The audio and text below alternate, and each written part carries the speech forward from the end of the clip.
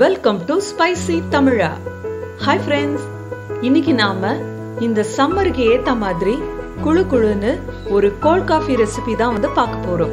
இது ரொம்ப ரொம்ப சிம்பிளா இருக்கும் ஆனா ரொம்ப டேஸ்டா இருக்கும். வாங்க எப்படி செய்யறதுன்னு பாத்திரலாம். இந்த கோல்ட் காஃபி செய்யறதுக்கு முந்நூறு எம்எல் பால் ஒரு டேபிள் ஸ்பூன் டிகாஷன் ஏழு ஐஸ் கியூப்ஸ்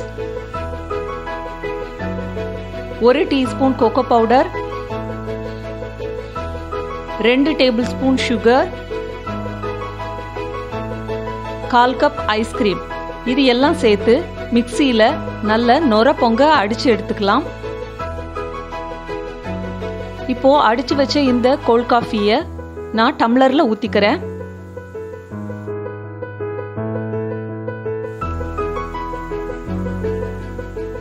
இப்போ இதில் கால் கப் ஐஸ்கிரீமை சேர்த்துக்கிறேன். இது டெக்கரேஷனுக்காக தான். மேலே லேசாக கோகோ பவுடரை தூவி விட்டுருக்கேன். ஃப்ரெண்ட்ஸ் இப்போ சூப்பராக சம்மருக்கு ஏற்ற மாதிரி கோல்ட் காஃபி வந்து ரெடி ஆயிடுச்சு.